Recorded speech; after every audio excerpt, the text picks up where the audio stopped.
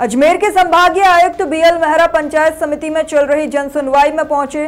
इस दौरान उन्होंने सभी शिकायतकर्ताओं की समस्याओं को सुनकर अधिकारियों को जल्द से जल्द निराकरण के निर्देश दिए हैं।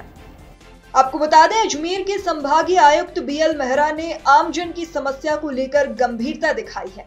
संभाग आयुक्त अचानक पंचायत में चल रही जन सुनवाई में पहुँचे और शिकायतकर्ताओं से उनकी समस्याओं को जाना।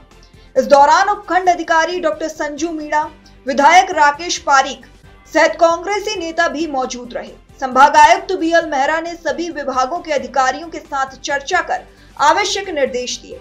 बता दें, मेहरा ने सभी विभागों के अधिकारियों को स्पष्ट निर्देश दिए कि आमजन के साथ संवेदनशील होकर कार्य करें। इस दौरान संभाग आयुक्त ने उपखंड कार्यालय का भी निरीक्षण किया।